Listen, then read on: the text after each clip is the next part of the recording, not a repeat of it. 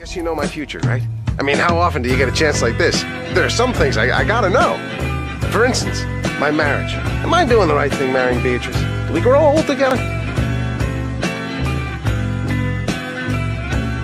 You're gonna love her until the day you die. Maybe I don't need to know any more than that.